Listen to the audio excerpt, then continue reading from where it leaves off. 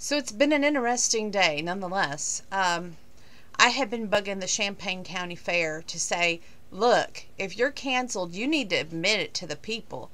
I had contacted our governor, I had contacted the Beach Boys, I had contacted the fair, and I had contacted the Beach Boys twice. Didn't hear anything at all from them. Uh, my mom was really excited to go see them, so I, she's heartbroken over the news that, yes, today, in fact, they did cancel which I could have told you about a week ago when it didn't show up on the events. Honestly, now think on this really hard.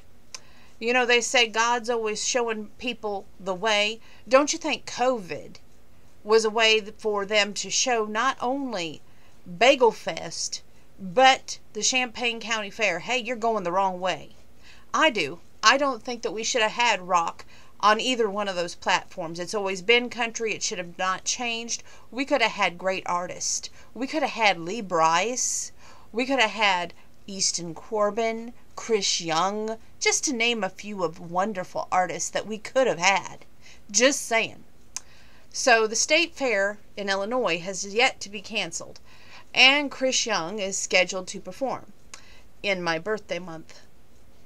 Just saying. Anyway, um, and would I milk a cow? Somebody asked me that. I would milk a cow in order to meet Chris Young. Just saying. I also would milk a cow for the fun of it, though, because I think it would be fun. But anyway, just saying that. Uh, not like anybody's going to take me up on that offer. Anyway, um, what was I getting ready to say? Oh, um, the microwave quit today. Just, I went to go use it for breakfast, and all of a sudden, it wouldn't even cook oatmeal. So here I am, like, what am I going to do? So I had a banana for breakfast, a banana. I had chicken and star soup for lunch, um, but I was in such a hurry I couldn't eat it all, so I had to share it with my dumplings outdoors. And they got chicken and star soup. And um, tomorrow we're supposed to go microwave shopping. That ought to be a joy.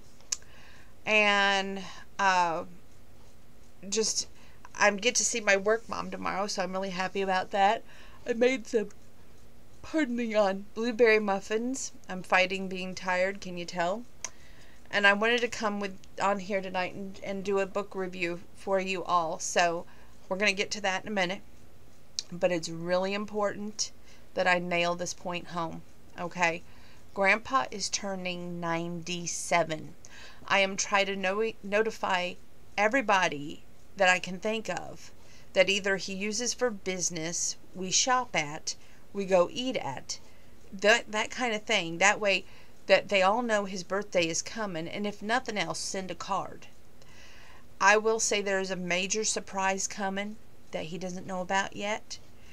And thank God I've got the mail that one day that I did because they addressed it right to him and put happy birthday on the front.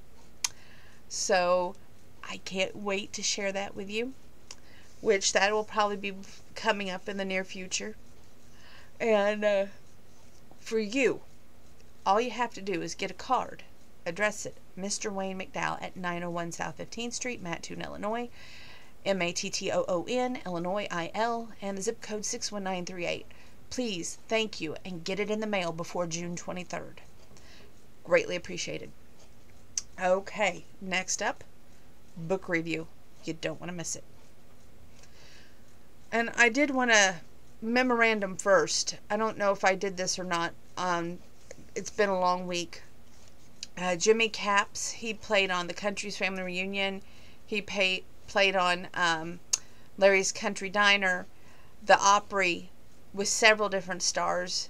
Uh, he passed, and our thoughts and prayers are with not only him and his wife that was on the Larry's Country Diner and all of his family, and but his fans as well and also um, thoughts and prayers are going out to everyone. It's just it's he was such a great musician, such a great big loss. He he was just so talented. Anyway, um, next up, the book review.